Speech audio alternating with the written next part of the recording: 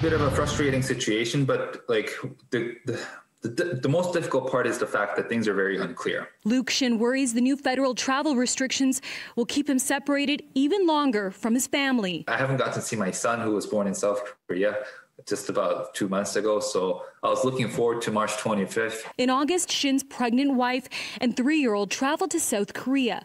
The Edmonton based family decided it would be the best place to give birth, closer to family. At the time, South Korea was doing a better job of fighting the virus. If these sort of measurements, measurements were in place right from the get go, we wouldn't have planned to return to Korea whatsoever, knowing all these sort of long term problems. According to the new travel restrictions, when Shin's wife lands in Vancouver in March, she will have to quarantine in a government designated hotel for three days with her newborn and young child.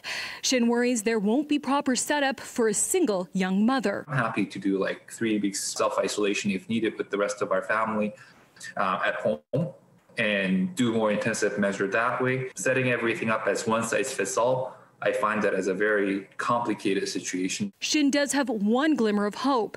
Tuesday, Prime Minister Justin Trudeau said there will be rare exemptions to the new travel restriction. There may be particular compassionate or humanitarian exceptions that must be made in, in given situations, and we'll look at those. The Prime Minister would not elaborate on what those exemptions might be. Ottawa's new testing and quarantine requirements are set to combat the new and more contagious variants of COVID 19. In Edmonton, Rochelle Sufi, City News.